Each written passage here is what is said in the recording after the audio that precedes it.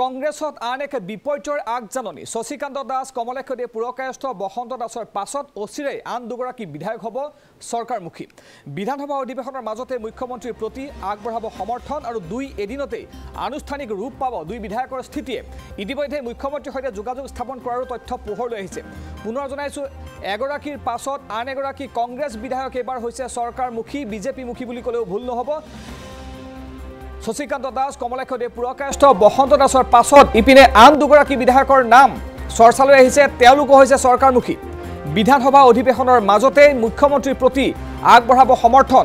দুই এদিনতে আনুষ্ঠানিক ৰূপ পাব দুই বিধায়কৰ স্থিতিয়ে।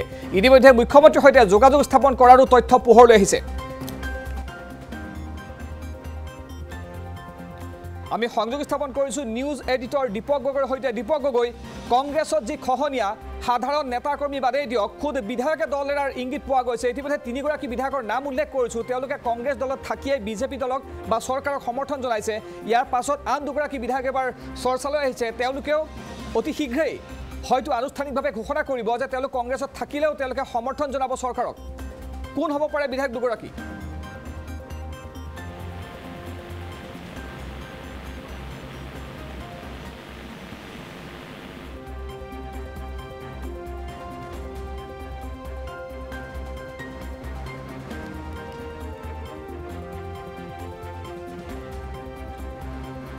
আমি প্ৰাইম টুৱেণ্টি ফ'ৰৰ আৰম্ভণিতে জনাইছোঁ এটা ডাঙৰ খবৰ ডাঙৰ ৰাজনৈতিক খবৰ জনাই আছোঁ। কংগ্ৰেছত আন এক বিপৰ্যয়ৰ আগজাননী দেখিবলৈ পোৱা গৈছে। শশীকান্ত দাস কমলেশ্বদেৱ পুৰকায়স্থ বসন্ত দাসৰ পাছত আন দুগৰাকী বিধায়ক হ'ব চৰকাৰমুখী শীঘ্ৰেই।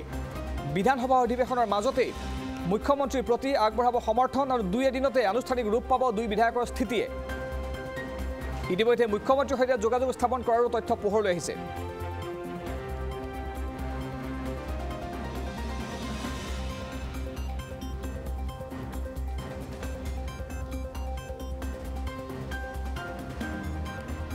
শেহতীয়াকৈ বিধানসভা অধিৱেশন চলি থকাৰ সময়তে কমলেশ্বদেৱ পুৰকায়স্থ বসন্ত দাসে স্পষ্টকৈ ঘোষণা কৰিছে মুকলিকৈ কৈছে যে কংগ্ৰেছ দলত থাকিও সমৰ্থন জনাব চৰকাৰক। মুখ্যমন্ত্ৰীৰ কামৰ প্ৰতি তেওঁলোক আকৃষ্ট হৈছে চৰকাৰক সমৰ্থন জনাব। ইয়াৰ পাছত আন দুগৰাকী বিধায়কৰ তথ্য পোহৰলৈ আহিছে। তেওঁলোকেও অতি শীঘ্ৰে আনুষ্ঠানিকভাৱে স্থিতিৰ কথা স্পষ্ট কৰিব যে তেওঁলোক কংগ্ৰেছ দলত থাকিলেও কিন্তু সমৰ্থন জনাব চৰকাৰক।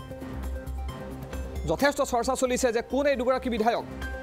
এইধৰণে এগৰাকীৰ পাছত আন এগৰাকী বিধায়কে যদি কংগ্ৰেছ দলত থাকিও কংগ্ৰেছক সমৰ্থন নকৰি চৰকাৰক সমৰ্থন কৰে তেন্তে কংগ্ৰেছৰ কি হ'ব?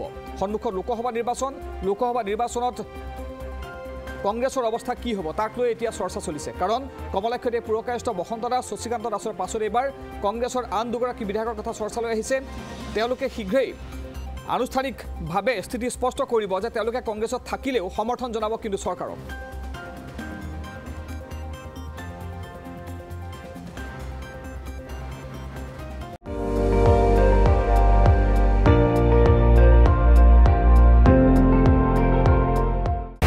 আপুনি চাই আছে এন ডি টুৱেণ্টি ফ'ৰ।